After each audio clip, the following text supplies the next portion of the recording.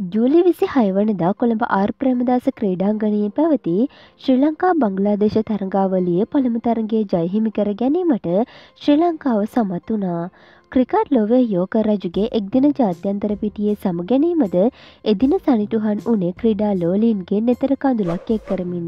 ශ්‍රී ලංකා බංගලාදේශ පළමු තරගයේදී ඒ ආකාරයට කඩුළු තුනක් දවාගත් මාලිංග බංගලාදේශ කණ්ඩායමේ අවසන් කඩුල්ලද තමා සතු කරගන්නේ එම තරගය අමතක නොවන තරගයක් බවට පත් කරමින්.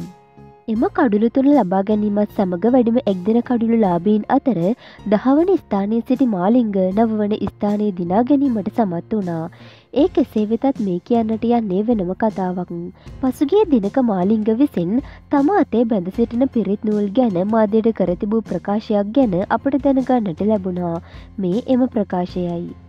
ගොඩක් කටිය මගින් ඇහුවා ඇයි මාලි ඔයා අතේ පිරිත් නූල් දෙක තුනක් බැඳගෙන ඉන්න කියලා. ඔවුමං එහෙම කරනවා මම ලංකාවෙදි විතරක් නෙමෙයි ලෝකෙ වටේම ක්‍රිකට් ප්‍රීමියර් ලීග් සෙල්ලම් කරන කෙනෙක්.